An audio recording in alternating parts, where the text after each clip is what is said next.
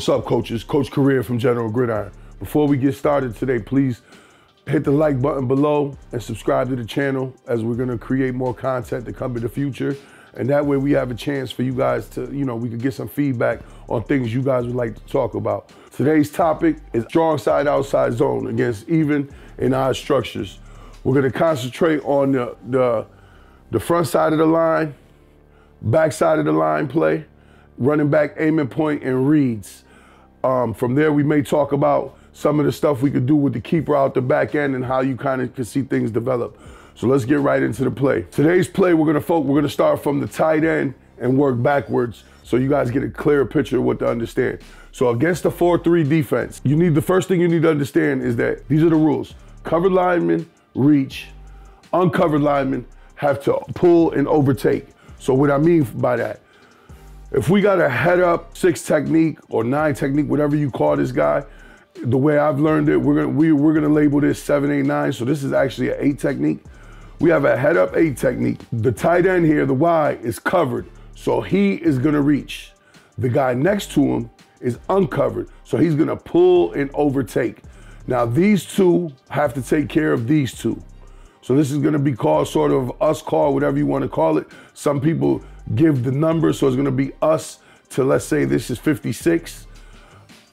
Us, center, and guard have a us call here to the mic. Let's say the mic's called 50, so it's us to mic. So in this situation, the guard is covered, the center's uncovered. So the guard has to reach, the center has to pull and overtake. So back to here. So we're gonna start with the tight end and right tackle who are on a us call to number 56. Tight end is gonna take outside, his outside fire step and try to work his head to the outside of the defensive end. The, le- the right tackle is gonna take is gonna take a pull step and get lateral and try to get his head towards the outside of the defensive end.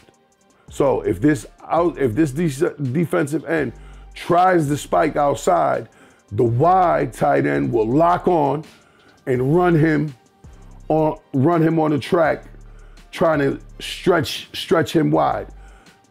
The right tackle will climb to cut off the play side linebacker. If the defensive end spikes inside, now the right tackle is going to pull and overtake, and the Y is going to slip off and take the play side linebacker. Same scenario here with the center and right guard.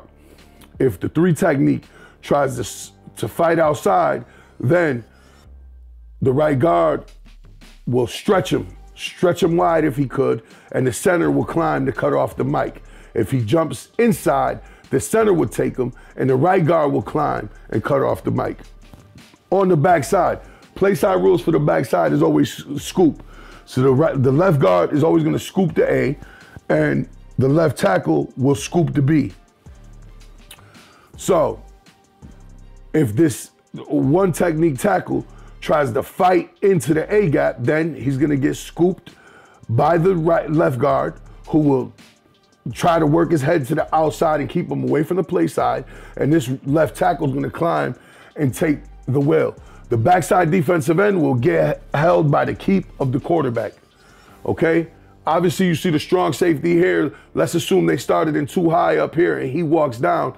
We don't have a hat for him, so this Z has to push crack and take care of him.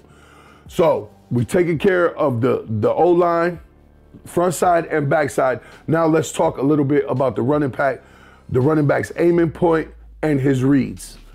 The running back is gonna is aiming directly for the butt of the tight end. Now I know there's people that have different theories on this, but the way I learned it from a reliable resource is that he's gonna aim for the butt of the tight end, and he's reading. This is the number one read here. The guy sitting on the tight end. The second read becomes the next guy inside, who would be the three technique tackle. So once we clear one, if one is cleared, you start looking for two. If one jumps way outside and doesn't let us get outside, then we're gonna we're gonna press it right now and shoot it inside as soon as we can get back on track to get outside. Because we're trying to get outside to the numbers on this play. That's why it's called wide zone. A lot of people say you could bend it back the theory of wide zone wasn't meant for it to bend all the way back. So if he jumps outside, you shoot it right now and then try to get back on track and get numbers, ha- hash to numbers the sideline.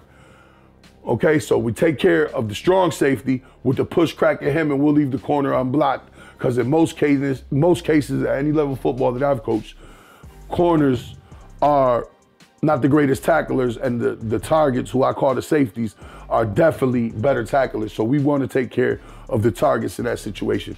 Obviously, we're going to hold the back end, backside end with the keep. You could see the pass, pa- the pass possibilities. We could start building off that keep. That, but that'll be a subject for another day. So there's outside zone versus an even front, where just a reminder, covered lineman, reach, uncovered lineman, pull, and take over. That same principle, backside of the line is gonna scoop the A and scoop the B. Odd structure, same principles apply. Covered is gonna reach, uncovered is gonna pull and overtake. So in this situation where we have a Sam shaded on the Y, this guy's considered covered. So he has to reach him, working his head to the outside. When he works his head to the outside, he needs to, his inside hand needs to be hard on his sternum. So we could try to work outside. Work outside and stretch him if he wants to stretch.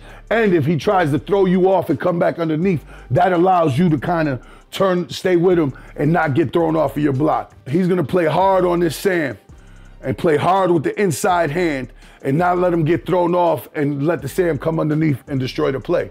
Now, the right tackle is covered, so he's gonna try to work his head placement and hand placement and get to the outside. Right guard's uncovered, he's gonna pull and overtake. If this end jumps outside, the tackle is gonna lock on, work his head to the outside, and either stretch him with the play, keeping his head between him and the ball carrier, or if he falls back inside, the right guard takes him and the right tackle climbs to cut off the play side linebacker. So here's the us call. Let's say this is 56 again. We, we got an us call to 56. He steps outside. We're going to lock on and need to run him, work our head position so we could seal this block off. If he steps inside, the right guard is going to overtake him trying to work his head to the outside, and he's gonna climb for the mic. If he tries to jump inside, the right tackle is gonna climb for the mic. Center and backside guard. Now, his rule on the backside, the center has a man on him. So he has to work to get his head placement to the outside with a strong inside hand. If he tries to jump to the play side A, he is gonna overtake him and work his head, stay in the outside position, and try to either work him off the field or run, stretch him wide. The right guard is gonna climb to the mic and cut off the mic. They have a us call here. So his scoop, his rule on his scoop is the A gap. If he tries to backdoor him, he's gonna take the nose tackle and the center will climb to the mic. If he tries to jump to the play side, he will immediately work with a, a two-hand read and then climb up and seal off the backside mic. We got to protect the B gap here. If this end spikes inside, he's going to take him. If he tries to spike outside, he can't affect this play, and he'll just climb to cut off something. If he's got to get a piece of the mic who's hanging around, or cut off anything that's coming, maybe the Will's trying to fall back in, or the corner's pursuing to the ball. He's just gonna kind of slice into this and make sure nothing violates this B gap and look for work. Once again, we're gonna hold this well with the backside fake, and obviously you can see the back, the pass possibility off the keep here with the H and the X. Running back's aiming point. Again, his read starts with the Sam and is gonna work to the four technique tackle. If the Sam tries to fight outside, he's gonna press the hole right now and work to get back on track. If he fights inside, he just stays the course. We will take care of the overhang once again with the push crack because we don't have a hat for the overhang.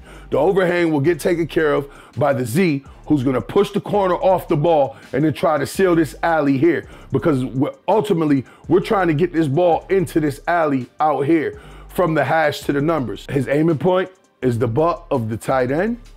His read starts with the Sam. His second read becomes becomes the end. So what that means is once he clears number one, let's say number one jumps outside, now his read becomes number two. If he jumps inside, he just presses the ball outside. He continues pressing the ball outside. Same thing over here. If one once we clear one, let's say one jumps outside, his next read becomes here. So that, that that's what I'm talking about. He could press it in here, but then work to get back on track. Same thing here. So the, the theory that you could bounce, you could bend this play all the way back by the center is not true. That's not the way the play was designed. The play is designed to get outside, hash to numbers, or numbers to hash, however you want to call it. That's the theory of the outside zone. So this is what I got for you today. Outside zone strong versus even in our structures. Until the next time, coaches, Coach Correa.